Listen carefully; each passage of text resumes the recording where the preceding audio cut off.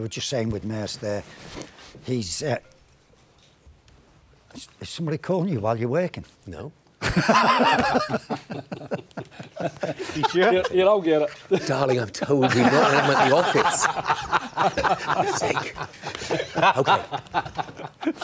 Spaghetti bolognese. Brilliant. I have just been done up like a kid. I'd forgotten to switch my phone off, as you might have noticed. And I said to the boys, I'm not, it's a new phone. I said, I'm not quite sure how you turn it off. Error. My phone rang live on air, and who was ringing me at the time? Paul Merson. Goodness, I, I deserved it for my own stupidity.